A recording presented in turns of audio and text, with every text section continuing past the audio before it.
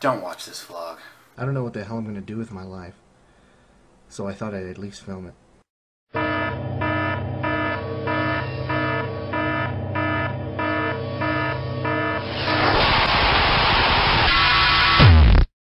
What the vloggity? I didn't record anything today. It really was a lazy day. Didn't do nothing. Got up late. Submitted for roles. Looked for work. But really didn't do anything. Why are you watching this? I clearly posted. You shouldn't watch this vlog. Well, give yourself a pat on the back for still supporting the vloggity. Oh! Exciting news. I actually got cast in LA's Haunted Hayride. Oh, that's going to be fun. and what else? I got contacted by a company that's shooting a TV show, and they wanted me to potentially be a test writer for the TV show.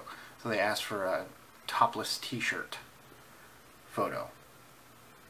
Topless T-shirt, a photo without my shirt on, you know, so they could see what I look like in trunks or whatever. So I sent it to them. Um, here's to hoping they choose me. But alright, guys, that's it for today. We'll see you guys tomorrow. Stay classy. Bye bye.